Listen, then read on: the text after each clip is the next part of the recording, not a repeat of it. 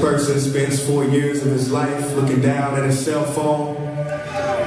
Kinda ironic, ain't it? How these touch screens can make us lose touch.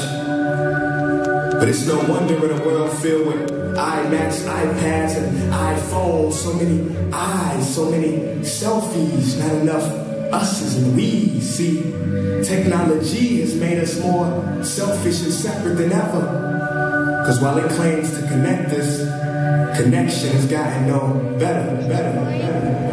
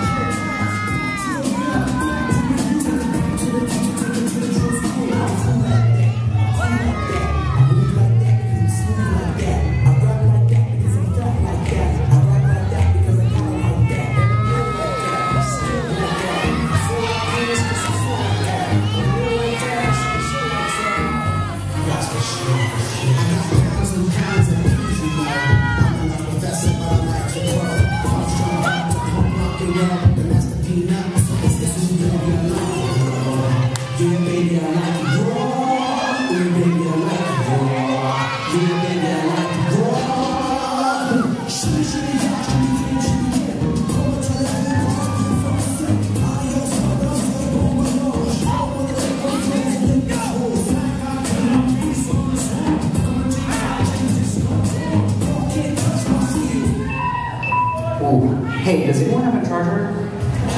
Bruh.